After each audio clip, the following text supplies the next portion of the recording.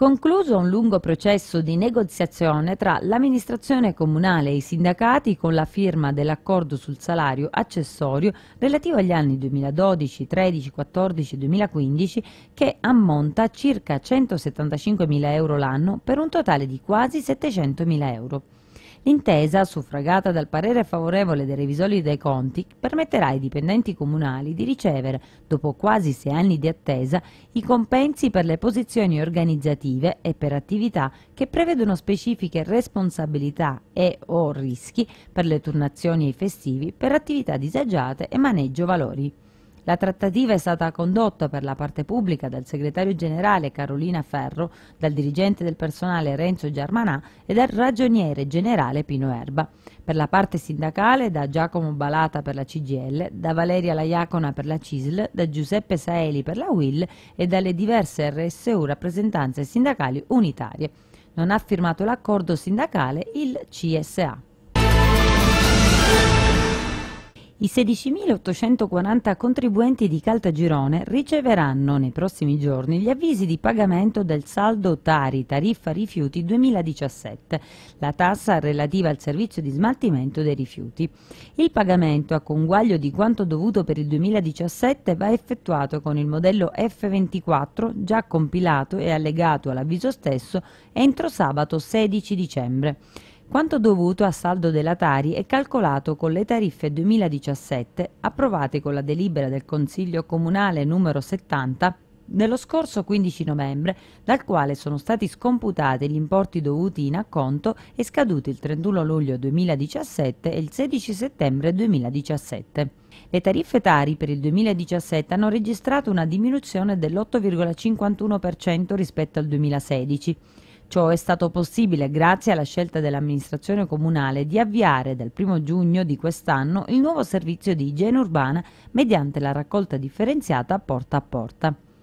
L'obiettivo di questa nuova modalità di gestione è quello di incrementare la raccolta differenziata per contenere i costi di smaltimento dei rifiuti e ridurre le tariffe. Se l'avviso di pagamento non è recapitato in tempo utile per il pagamento della rata a saldo il 16 dicembre, è possibile chiedere il duplicato all'ufficio front office in via Luigi Sturzo 14 nei giorni di apertura al pubblico, da lunedì a giovedì dalle 9 alle 13, martedì anche dalle 15 alle 17.30. Emesso l'avviso pubblico per la presentazione delle domande di ammissione al servizio nonno vigile, la cui istituzione e il cui regolamento sono stati previsti dalla delibera di Consiglio Comunale dello scorso 20 novembre.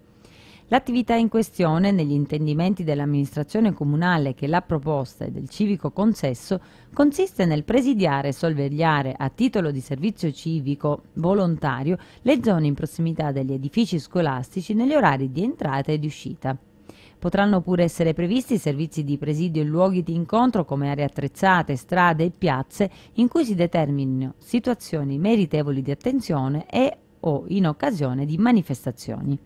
I cittadini, uomini o donne, interessati a svolgere questa attività di volontariato dovranno presentare domanda all'ufficio protocollo del comune o al comando della polizia municipale o all'ufficio servizi sociali entro le 12 dell'8 gennaio 2018, utilizzando l'apposito modulo che può essere scaricato dal sito del Comune o ritirato negli uffici sopra indicati e allegando la documentazione richiesta. Successivamente gli aspiranti volontari saranno invitati a colloqui individuali con il comandante del corpo o un suo delegato per valutarne le attitudini e conoscerne le esigenze. La Polizia Municipale organizzerà un corso di formazione rivolto ai volontari risultati idonei per definire ruoli e compiti del nonno vigile. Il mercatino degli agricoltori, che il mercoledì si tiene nella parte antica della città, viene sperimentalmente trasferito durante il periodo natalizio, già a partire da mercoledì 6 a mercoledì 3 gennaio 2018 dal parcheggio Cappuccini, in cui si svolge abitualmente, alla piazza Innocenzo Marcinò, che a lungo in passato è stata la location di un assai frequentato mercato. La decisione, come spiega l'assessore alle attività produttive Francesco Caristi, è stata assunta per accrescere e rendere ancora più variegata la già vasta offerta di eventi che caratterizza il Natale a Caltagirone. Resta invece immutata l'allocazione dell'analogo mercatino nella zona nuova che, anche nel periodo natalizio, continuerà a svolgersi ogni venerdì a ridosso della piscina comunale. Su iniziativa del Comune di Caltagirone e della Società Calatina di Storia, Patria e Cultura, lunedì 11 dicembre alle 11 nella sala Silvio Milazzo del Palazzo Municipale, alla presenza delle autorità civili, militari e religiose, sarà ricordato il centenario della morte del capitano Arrigo Ventimiglia di Monteforte, dei Lancieri di Novara, Nato a Caltagirone il 7 gennaio del 1889 morto l'11 dicembre del 1917 a Monte Coston, medaglia d'argento al valor militare. A seguire verrà scoperta nell'atrio del Palazzo Municipale una targa commemorativa.